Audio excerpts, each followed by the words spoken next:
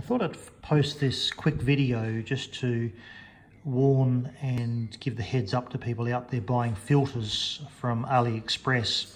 This is a real polarizing filter and this is the fake one I received from a seller on AliExpress. As you can see, there's a clear difference between the quality of the glass. The real one is grey. This is a brownish coloured glass.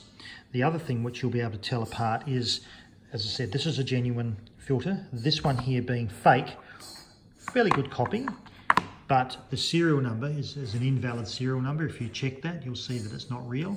The other thing is, it's not a sticker on here. The real Hoya filters have a sticker, and you can feel and possibly see here that it's actually stuck on. So just beware. Um, it's a pretty damn good uh, counterfeit slash fake copy, but when you look closer, you can clearly see that uh, the one on the right here is, is not real. And when putting it on a camera and taking a few photos, even more so, uh, the, the, the quality of the photos is shocking. In fact, there is no polarizing effect.